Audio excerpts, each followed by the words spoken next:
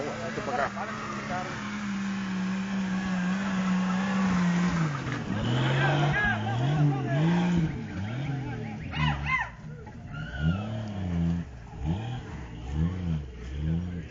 Qué loco. Este es muy, es muy bronco para manejar. ¿verdad?